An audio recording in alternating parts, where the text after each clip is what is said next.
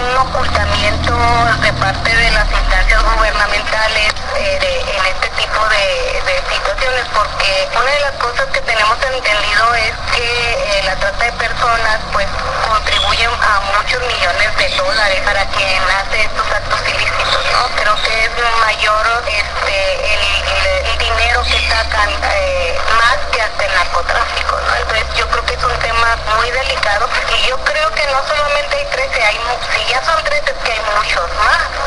que no se que no se que no se denuncian por por esta por, falta de confianza que tienen las familias en las autoridades tanto municipales, estatales y federales. Señaló que existen antecedentes de casos similares que derivaron en que la citada dependencia asumiera la tutela legal de los infantes porque los progenitores no desahogaron los diferentes juicios emprendidos, aunque estos se notifican de manera tardía y de forma premeditada para dejar muy poca capacidad de reacción a los mismos, denunció la entrevistada.